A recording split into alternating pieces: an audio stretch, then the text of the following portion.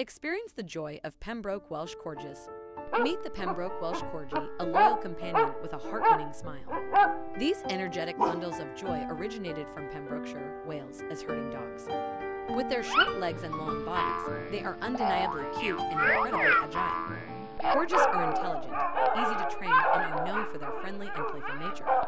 Join us in celebrating the charm and spirit of Pembroke Welsh Corgis.